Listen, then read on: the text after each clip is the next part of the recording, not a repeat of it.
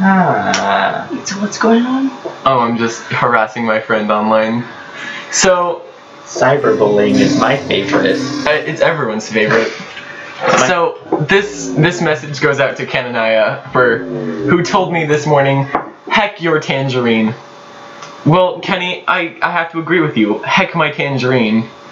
But you, you know what? You're not you're not free from the blame either. So um I I don't know. You don't ever eat anything in public. It's true. He never eats anything in public. Okay. So um, what, what, what's something he eats? Uh, heck your heck your sandwich. I've seen you eat a sandwich before.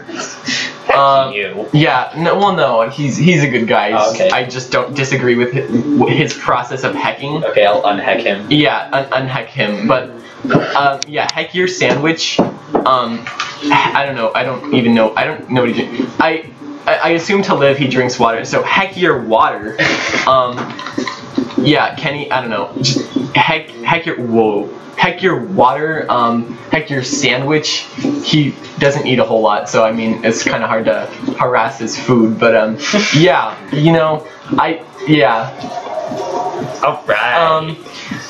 Oh, I assume you eat uh, some Papa John's because they have bees in their pizza. oh. Heck, heck your Papa John's.